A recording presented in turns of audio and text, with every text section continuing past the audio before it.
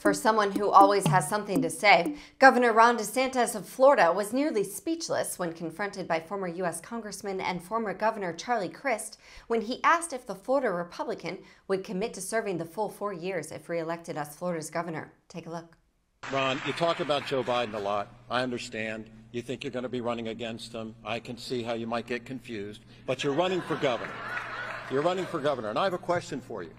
You're running for governor. Why don't you look in the eyes of the people of the state of Florida and say to them, if you're reelected, you will serve a full four year term as governor? Yes or no? Yes or no, Ron? Will you serve a full four year term if you're reelected governor of Florida? It's not a tough question. It's a fair question. He won't tell you. We did not agree on the candidates asking each other questions. Governor, it's your turn.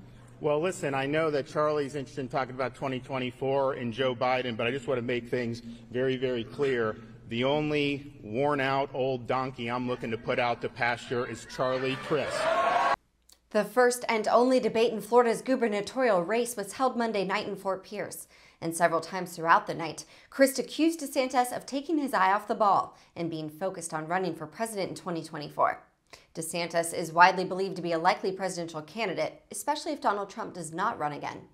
The Florida governor is known for his exceptionally frequent press conferences, often at schools and often surrounded by children, leading one Florida newspaper to accuse him of using children as pawns in a cruel political game.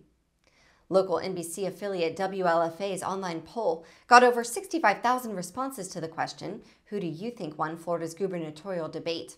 By a huge margin, viewers Monday night said Crist won 63% to 37%. CBS News adds that DeSantis never directly answered whether he would serve the entirety of a second term as governor were he to be reelected. A rising star in the Republican Party, polling has consistently found that DeSantis poses the greatest political threat to former President Donald Trump in 2024 if they both were to jump into the race.